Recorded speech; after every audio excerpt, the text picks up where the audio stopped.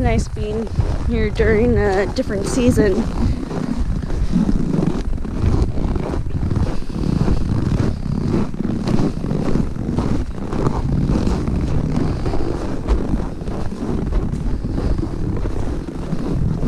Yeah, last time I was here, there was you could actually see the sand.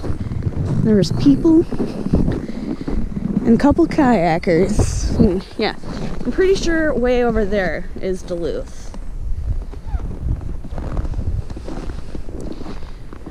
Wow.